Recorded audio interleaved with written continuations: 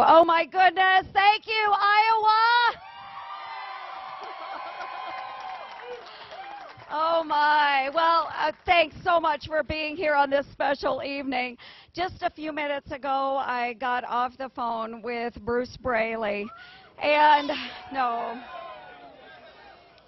I I congratulated him on running a phenomenal campaign. He was a worthy opponent. He was a worthy opponent. And he was willing to sacrifice to fight for what he thought was right. We didn't agree on much, but I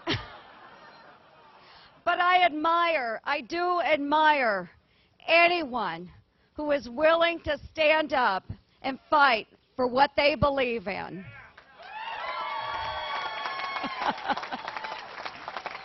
well, Iowa, well, Iowa, we did it.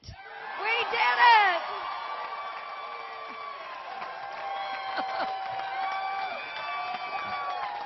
Thank you. It's, it's a long way from Red Oak to Washington. From the biscuit line at Hardee's to the United States Senate. thanks, thanks to, thanks to all of you, we are heading to Washington. and we are going to make them squeal. Thank you. Thank you.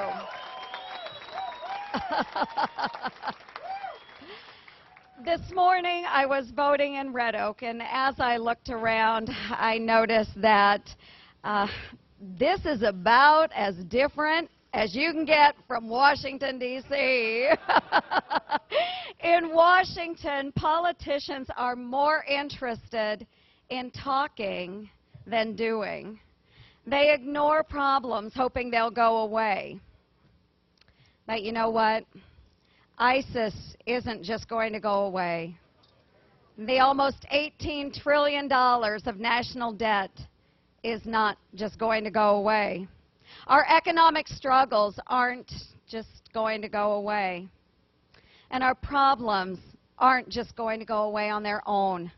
But we can overcome them.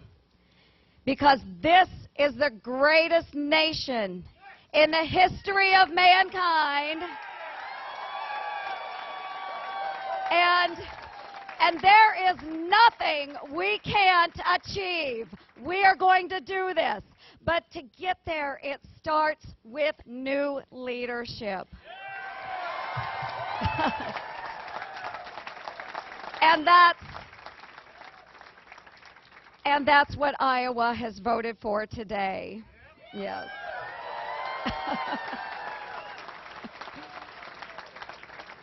we've, we've talked a lot in this campaign about Iowa values honesty, service, and hard work. Knowing the value of a dollar and not to waste it. These are the values that our parents and grandparents have taught us. These are the values that my mother that that my mother taught me on rainy mornings. Not with a lecture or a book, but with plas plastic bread bags. You see, you see, growing up, I only had one good pair of shoes.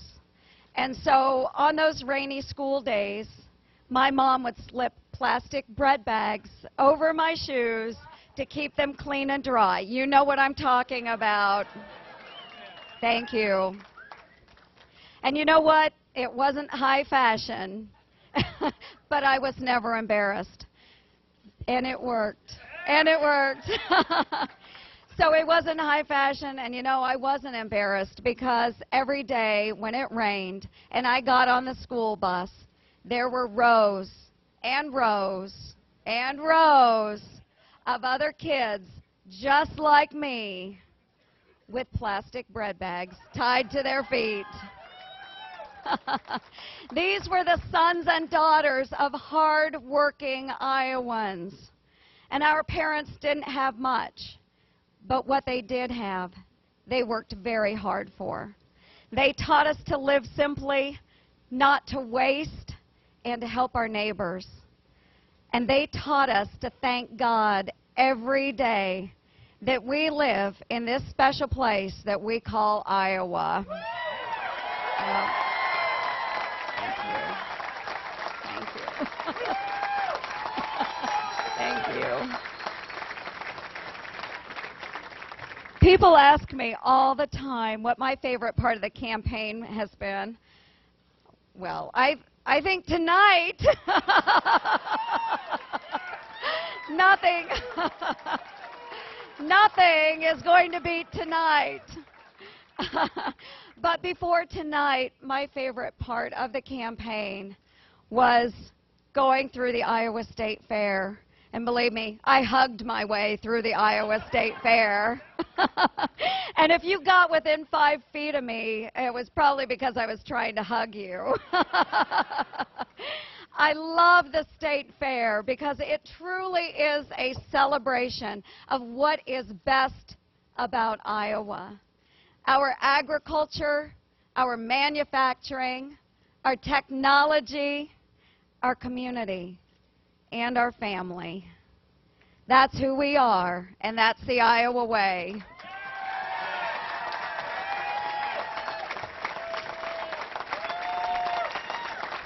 And our, our Iowa way is working. And it's not luck or an accident. It's because we have the greatest people. And we have the greatest governor and lieutenant governor of any state in the nation.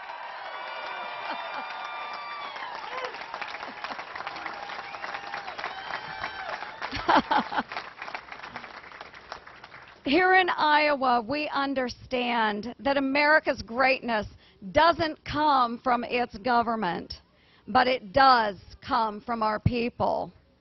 And look, yes, and look at the result. Look at the result. In the last four years, we've lowered taxes, reduced job killing rules and regulations, and we've balanced our budget every single year. And we've, yes, thank you. And we have created, we've created up to 150,000 new good paying jobs, while personal income is growing at the fourth fastest rate in the United States. That's the Iowa way.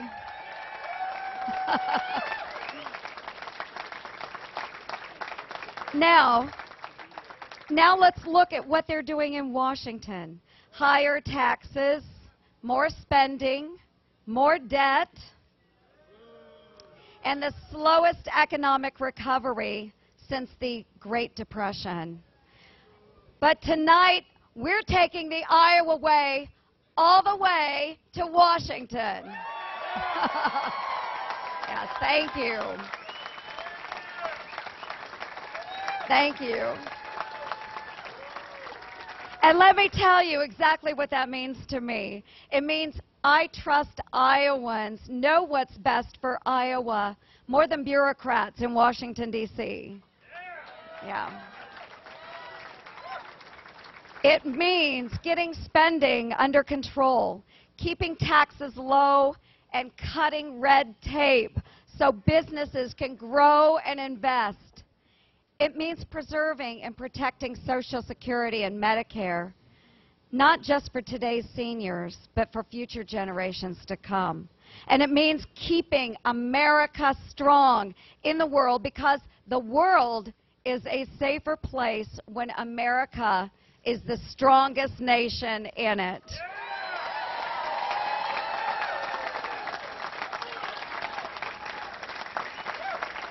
And it means fighting.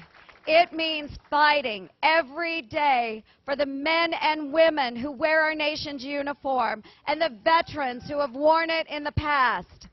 They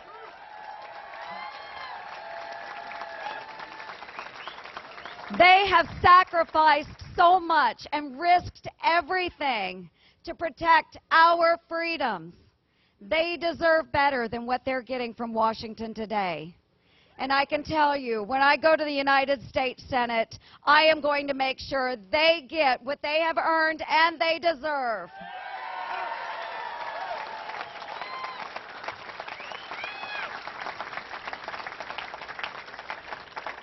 There are so many people that I want to thank tonight. And first, I need to start with my family. Um, they have been there, they have sacrificed so much uh, during this campaign cycle. And family, family, I love you all so very much.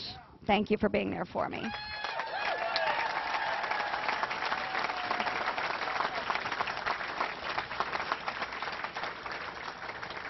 I also want to thank all of my many, many, many wonderful supporters who are always willing to lend a helping hand and pray for me and my family. And I have so many of you here. All right, you've been watching and listening to Joni Ernst, life. Senator-elect. She makes history tonight by becoming the first woman elected to Congress from Iowa. She called Bruce Braley a worthy supportive and helping opponent.